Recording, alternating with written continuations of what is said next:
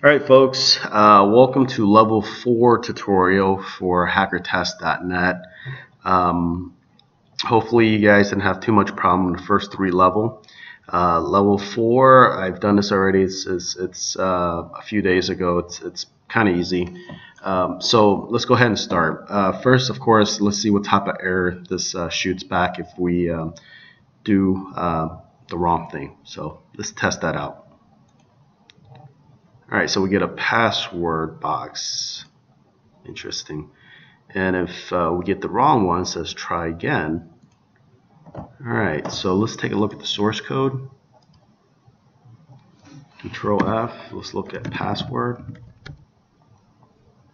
Zero instance, PW, nope. Pass, nope. Function, nope. Alright, so let's take a look at the actual script itself. Alright, so this is the HTML part. Hmm. Alright, so this is basically congratulation. Next part is right here. I'm just gonna this is a hyperlink. Let me press on okay, that's the actual um, snippet. All right. Let me get rid of these. I want get source code.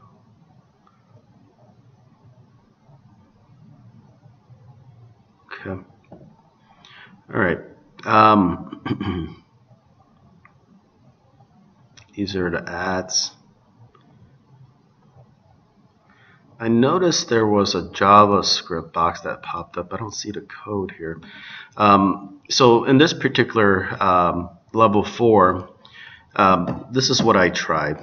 I tried turning off so uh, the JavaScript and seeing what is what would happen. So just go to settings. I'm in Google Chrome by the way.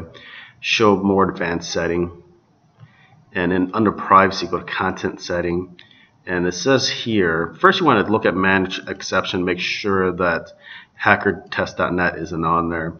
We want to turn off, uh, do not allow any site to run JavaScript and press done. Now let's go ahead and go back here and press this again and see what happens. Alright, level 5. That was easy. Okay. So basically level 4, all we have to do is turn off the JavaScript.